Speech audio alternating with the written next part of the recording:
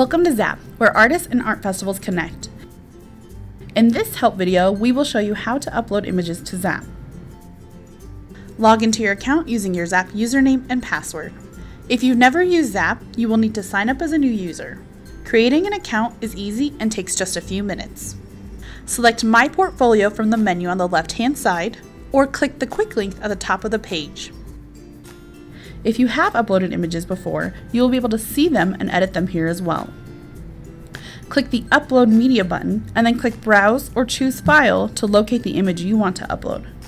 Your image must be at least 1400 pixels on the longest side or it will not upload. Enter information into the text fields. Those in bold are required. You will need to include an image title, medium, dimensions of your artwork, and the price of the work. When completing dimensions, you can enter 0 if the artwork does not have a depth or width. You can also use decimal points for measurements, but the system does not accept slashes.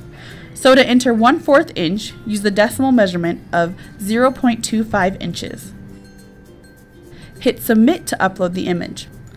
If you are uploading a booth shot instead of an artwork sample, choose Yes for the question, Is this your booth shot? When uploading a booth shot, you will only need to complete the image title field. Booth shots will have a star designating them as booth shots. To edit the image details after uploading an image, select the image from your portfolio. Click the Edit button. You can use the Replace button if you have a better version of the image but want to keep all the details the same.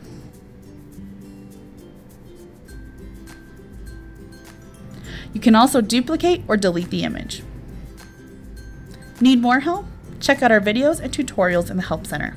Thank you for using ZAPP, and good luck with your show season.